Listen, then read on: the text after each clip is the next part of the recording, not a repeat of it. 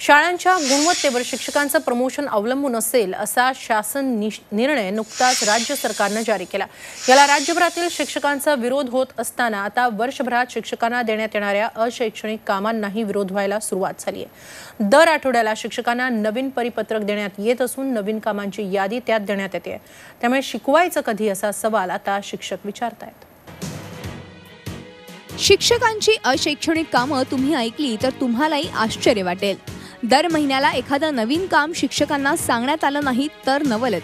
आणि ह्याच कारणामुळे राज्यभरातील सर्वच शिक्षक आंदोलनाच्या पवित्र्यात असून हिवाळी अधिवेशनादरम्यान अशैक्षणिक कामांचा जोरदार विरोध शिक्षकांकडून करण्यात येणार आहे. सर्व विद्यार्थ्यांचं आधार कार्ड तयार करण्याची जबाबदारी. सात नोव्हेंबर विद्यार्थी दिवस साजरा करण्याच्या सूचना. एकतीस ऑक्टोबर राष्ट्रीय एकता दिवस साजरा करण्यासाठीचे विविध कार्यक्रम. एक ते पंधरा सप्टेंबर स्वच्छ भारत पंधरवडा.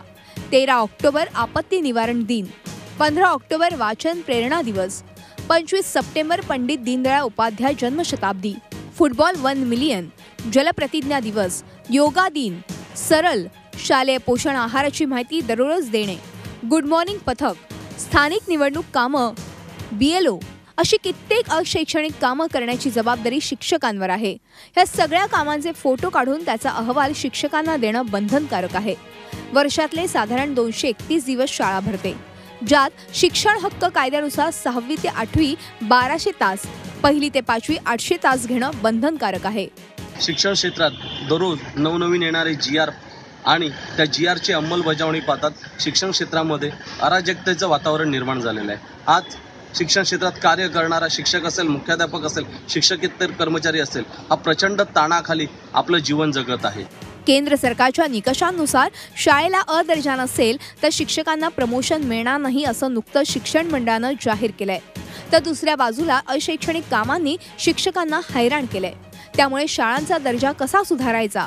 दोन्ही बाजूनी शिक्षकांची गळचेपी होते अशी तक्रार राज्यभरातल्या शिक्षकांकडून केली जाते विद्यार्थ्यांना महत्त्वाच्या दिवसांची माहिती व्हावी आणि विविध कार्यक्रमांद्वारे त्यांच्याही कौशल्य गुणांमध्ये वाढ होणं गरजेचं आहे.